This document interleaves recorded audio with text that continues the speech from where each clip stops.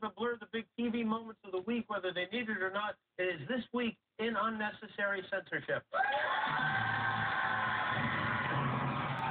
to talk about city politics. Uh, Donald Trump, Corey Lewandowski yesterday. Uh, let me ask you, do you know your size, by the way? I don't. I'll bet you'll find out, though, right? Yes, I will. There's LeBron. He finally finally He was unbelievable. Hillary Clinton's only right about one thing. I understand and how to handle it. I made a fortune with it.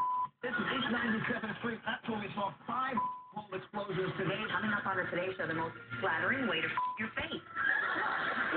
Small, shaggy, smooth, black, white. None of those are your favorite? Yeah. Okay. I love playing with.